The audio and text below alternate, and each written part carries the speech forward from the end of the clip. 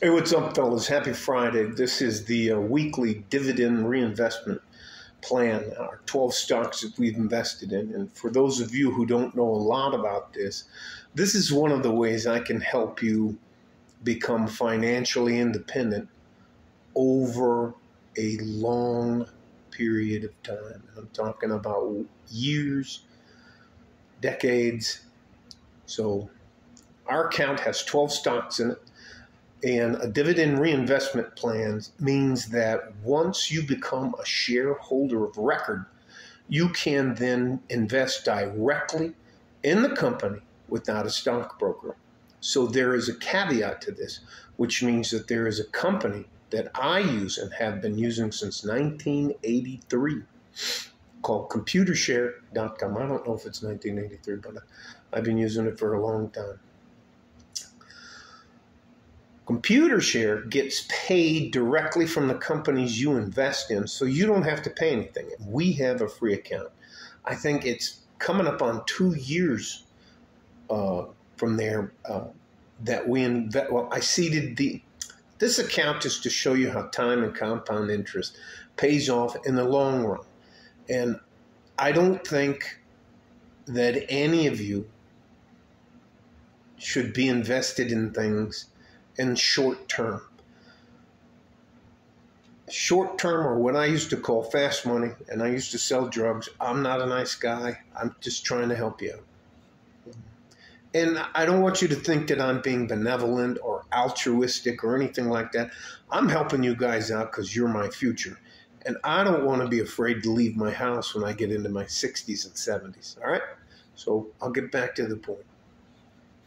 Because Computershare um, gets paid from the companies that you invest in, they don't charge anything for, for you and uh, any fees or anything like that because they get paid from the companies. All right. So uh, this month, this week, and I do this every seven days to show you how you can progress and regress. Um, our goal for this year, December 31st, was to make it to $19,000. And as of close of business today, we have $19,413.66 in the account. There is the account name, Computershare, and it goes summary profile, activity documents, and the rest of that. Messages, da da da da da da da. And I will uh, scroll through and tell you this 12 stocks that we got. But first, I'm going to give you, I'm going to take you a little bit sideways. I don't believe that you as younger men should invest in anything you don't understand. I invest and have been investing as actually since 1983 only in stocks that I use or understand how they work. I'm not a hedge fund guy. I'm not a tech guy. Uh, we do have, you know, let me just go through the stocks. I'm going to turn it around and uh, show you what we're going through. Our first stock in there is uh, Amazon.com. It closed down. And here, one more thing. Uh, there, uh, the Fed told the Wall Street and all the bankers and all that kind of stuff that they intend to raise the prime lending rate another percentage point, whatever that's going to be. And that has uh, caused everybody to take money out of the market, which means that uh, we lost money. So let me get to it. Last week we had $19,657.75 in our account. So we lost 244 we didn't lose we well actually we did we lost uh, we misplaced $244.09 all right. So when I set this account up, I wanted to show guys that time and compound interest outweigh get rich quick schemes. I will say also, I will tell you this also. We also have a ton of I series bonds from a very long time ago till now and and again, this this money we're using in this account is not. This is part of the uh, ten percent or twenty percent that's ours to keep for the rest of our lives. So we're going to use this money to leverage a good loan in the future. Say we want to uh, buy a new car. Say we need emergency money for medical bills. Say we need a new transmission. Say we need something else like that. You can go to the bank or any financial institution and show them that you are a regular, disciplined investor. And that's not including our savings accounts and all that kind of stuff. So if I needed a $15,000 loan tomorrow, let's say Saturday I go in there and I show them and I use the $19,413.66 as collateral, I'm securing the loan. So I'm going to get a better annual percentage rate. And on top of that, we're going to pay the loan off early anyways. That's why we do this. I can't even tell you how much money, how much. Anyways, um, so let's just get into the stocks and why we uh, have these 12 stocks. All right. So I'll turn them around, turn it around, and hopefully you can see it. Hopefully my hands uh, being a little bit more stable. Uh, the first stock we have there is Amazon.com.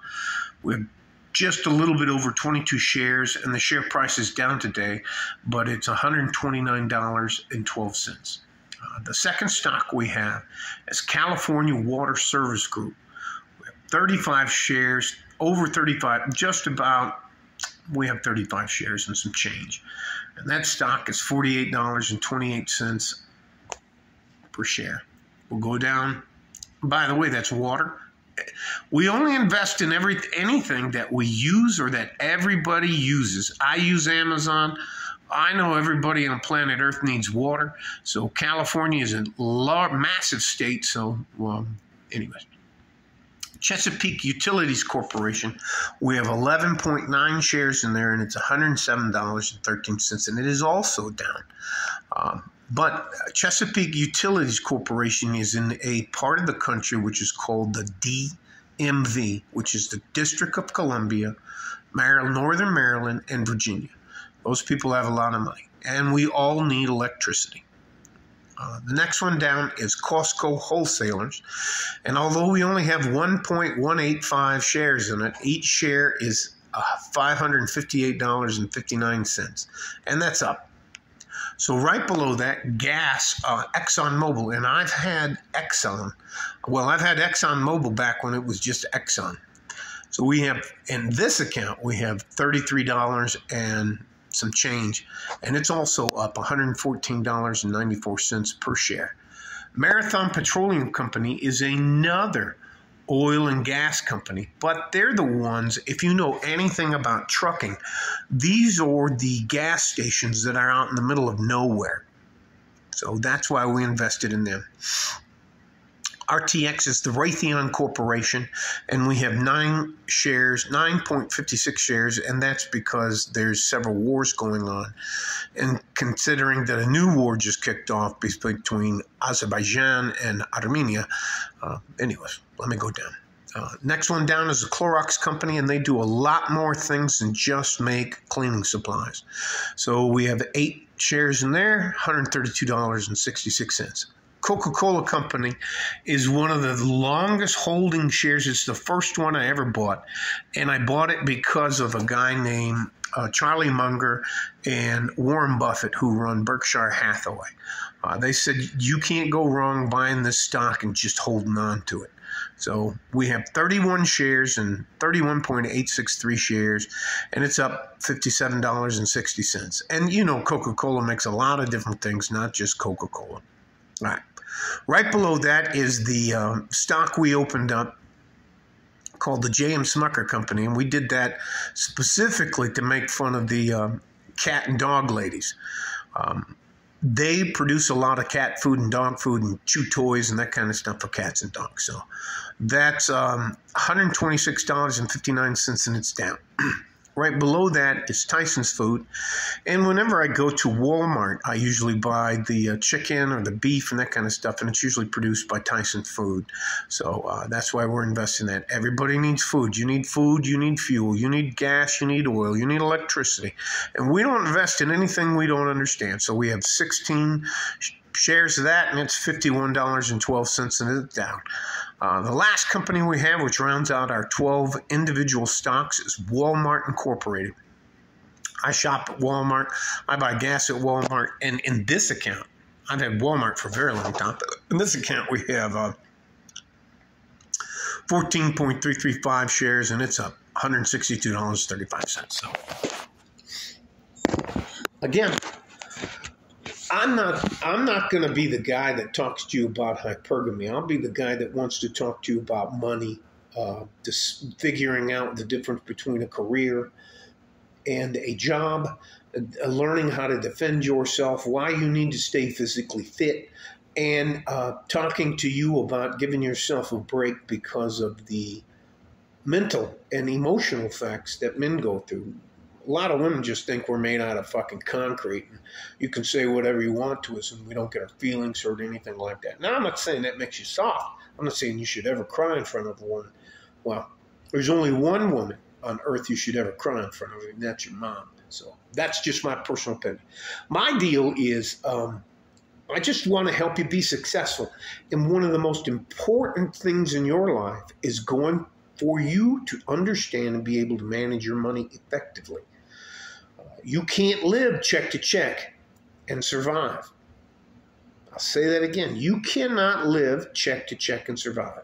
So we do the 50, 30, 20 rule. 50% of your money is to pay all your bills.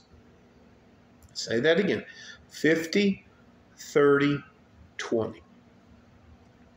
And I, the only book I recommend to get you started if you don't know anything about money is called The Richest Man in Babylon. It's written by a guy by the name of Clason.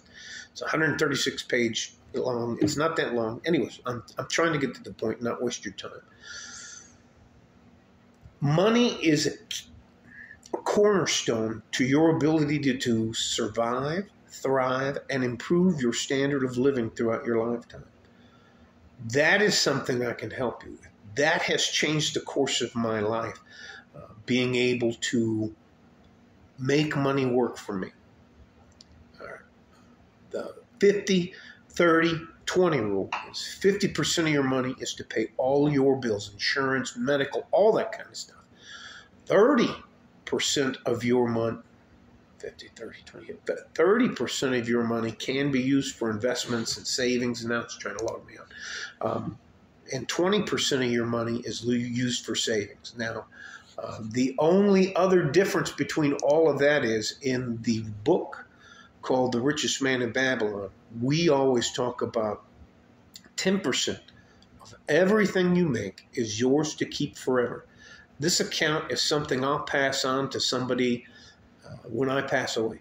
Um, I'm never going to use this money. The other, I can't tell you.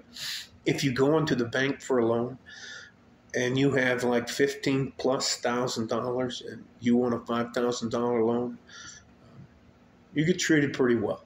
So, anyways, all that to say this just trying to help you. You matter to me. You're way more important than anybody wants you to believe.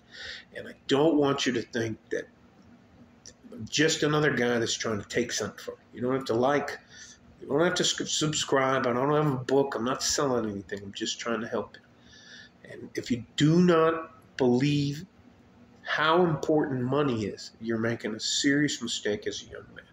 Love you guys. Like a fart in a G string from West Texas, El Paso. I'm out of here. Bye bye.